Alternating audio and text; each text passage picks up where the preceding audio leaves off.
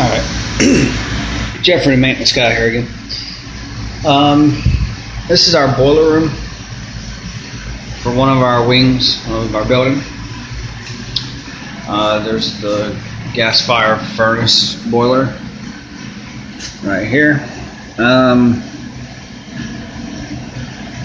the uh, way this is put together, it's a pretty intricate system here. It goes over to what's called a mixing valve.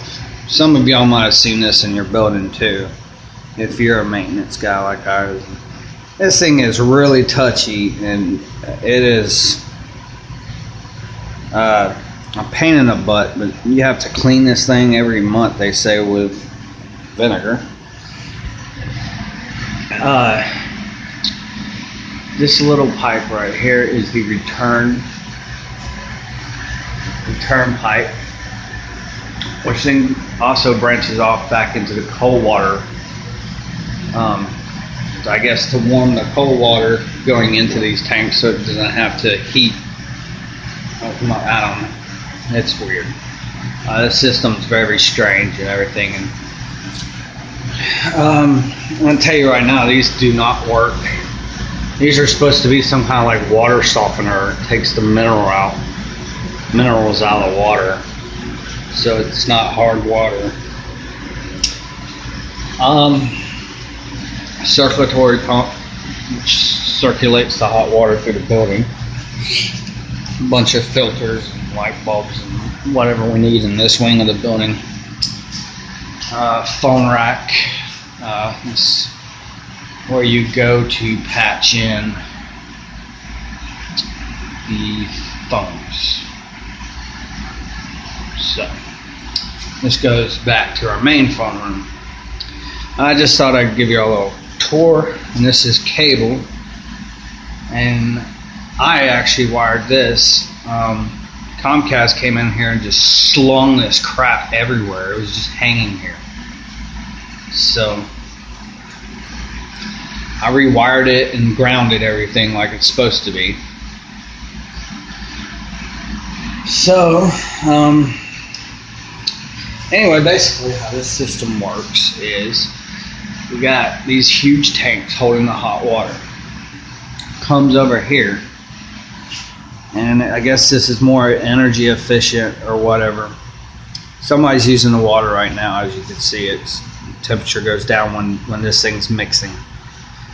Um, basically, your hot water from your tanks come into here. Cold comes into here. It's mixed together and goes up at a set temperature. Ours is we try to keep it as close to 115 as we can. Um, by uh, our policy, we're not allowed to go over 115. By city's policy, you're not allowed to go over 120. So, our state regulations is 120 for residential water. Um, we keep two of these on hand, so we don't have any downtime. So the other one's in the box here. Let's look see what it looks like. So basically, this just when you turn a screw, it mixes the hot water through these little baffles. Um, these are like 800 bucks a piece, so so I'm ready to get, we got a backup, but it's worth it. It doesn't kill any of our downtime. So. But that's a tour, a little tour of uh, stuff over here in this building. Um, uh, this is a green aquatherm pipe. This is not PVC. It's actually it is melted together. Um, it's called aquatherm something like fifteen dollars a foot for this three inch, two and a half inch one. So,